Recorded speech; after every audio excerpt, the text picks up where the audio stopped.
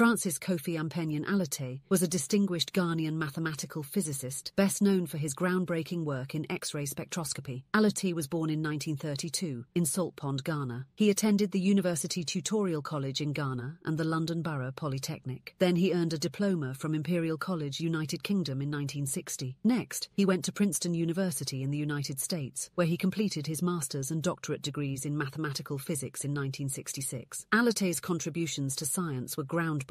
His most notable work was on soft X-ray spectroscopy, which led to the development of what is now known as the Allotey formalism. This pioneering work earned him international recognition, including the UK Prince Philip Golden Award in 1973. His achievements in the field of mathematical physics made him one of the most respected scientists of his time, and in 2004, he was named among the 100 most eminent physicists and mathematicians in the world. In 1974, he became the first Ghanaian full professor of mathematics and later served as the head of the Department of Mathematics at the Kwame Nkrumah University of Science and Technology, KNUST. He also held the position of Dean of the Faculty of Science and was the founding director of the KNUST Computer Center, where he championed the advancement of computer education in Africa. His eventually became the pro vice chancellor of KNUST. Throughout his career, Allotey received numerous awards and honors. In recognition of his contributions, the Accra Institute of Technology established the Professor Francis Allotey Graduate School in 2009.